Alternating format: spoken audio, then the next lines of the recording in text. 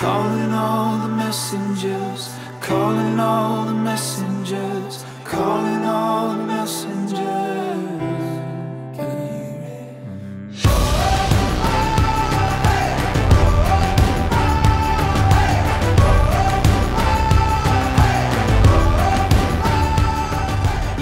My name is JP Sibley, and I want to invite you to come and join with us for prayer.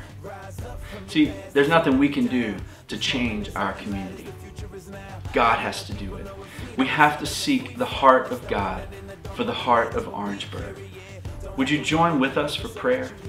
On February the 28th at 5 o'clock, here in our living room, 835 Stanley Street, we're inviting all of our friends and neighbors to join together to pray.